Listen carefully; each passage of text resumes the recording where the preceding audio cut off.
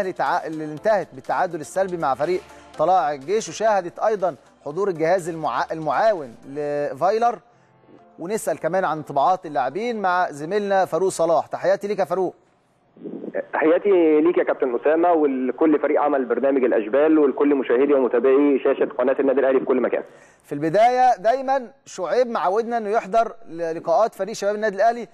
في مدينة نصر لكن النهارده يعني الجهاز الفني المعاون لفايلر موجود بالكامل النهارده في مباراة الأهلي وطلائع الجيش بالرغم إن المباراة كمان في طلائع الجيش.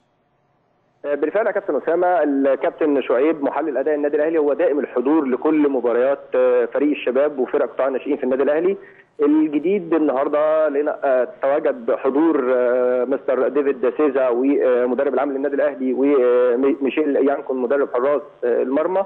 المباراة كانت ضمن فعاليات الأسبوع الخامس عشر لبطولة الجمهورية للشباب مواليد 99 زي ما قلنا اتكلمنا قبل كده يا كابتن أسامة عملية الربط واستراتيجية الجهاز الفني للفريق الأول في ضرورة الاعتماد والنهوض بقطاع الناشئين والتواصل المستمر.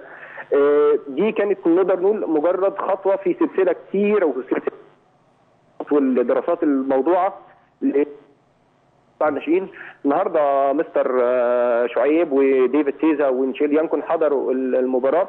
مباراة زي ما قلت التعادل السلبي بدون نقدر تسيدها النادي الأهلي في أغلب اللقاء. فريق جيش أيضا ادى مباراة كبيرة تالق مصطفى مصطفى شوبير ونال إشادة وإعجاب مستر ميشيل يانكون في الكثير من القرارات والكثير من الكرات. أيضا حارس مرمى طلائع الجيش قدر يتصدر من كرة وأكثر من فرصة. آه انطباع الجهاز الفني يا كابتن أسامة عن الناشئين في النادي الأهلي؟ بعض العناصر انطباع مميز جدا مهم جدا. آه كان ليا حديث مع مستر ديفيد تيزا وضح من خلاله إن مع كل الفرق اللي تولوا قيادتها وإدارتها سواء في بلجيكا أو في كل الأماكن ده أسلوب العمل المتبع دايما من آه مستر ريني فايلر وجهازه المعاون. وعندهم كتير من الأفكار وكتير من الأمور اللي إن شاء الله هتكون يعني خلال الفترة القادمة هيتم تطبيقها داخل قطاع الناشئين. وازاي إن أنا أستفيد من اللاعبين. أيضا بعض الأمور هيتم العمل عليها الجانب التخصصي لبعض اللاعبين. بعض اللاعبين في الناشئين يا كابتن اسامه زي ما حضرتك عارف آه. إن في بعض الأمور الفنية محتاج فيها تخصص شوية ومحتاج إن هو يزود.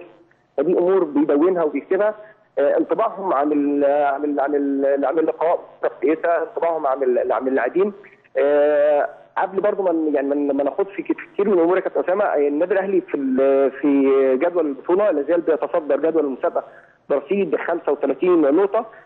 النادي الإسماعيلي برصيد 32 نقطة اللي تعادل النهارده مع فريق مصر المقاصة بدون أهداف. ثم فريق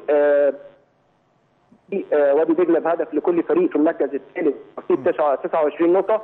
الأهلي لا زال يغرد على القمة على الصدارة بفارق ثلاث نقط يعني نقدر نقول الأهلي إن شاء الله يا كابتن أسامة عنده مواجهة مع فريق إنبي. الصراع على القمة بينحصر ما بين الأهلي والإسماعيلي. طبعا. وبيأتي من بعيد فريق إنبي. نادي الزمالك بعيد تماما عن المنافسة هذا الموسم. في المركز الموسم. ده صراع صراع القمة على البطولة كابتن أسامة. تمام. فاروق عايز عايز عايز أخدك لنقطة ثانية لا لا لحظة عايز أخدك لنقطة مهمة جدا يا فاروق. آه خلال الفترة اللي فاتت تم تصعيد عدد من لاعبي فريق الشباب النادي الأهلي للفريق الأول. النهارده عايز يعني انطباع اللاعبين بقى. النهارده بقى في تسليط الضوء أكتر على اللاعبين مراقبة اللاعبين من خلال الجهاز الفني المعاون النهارده كتابة تقارير لفايلر فعايز أعرف انطباعات اللاعبين إيه؟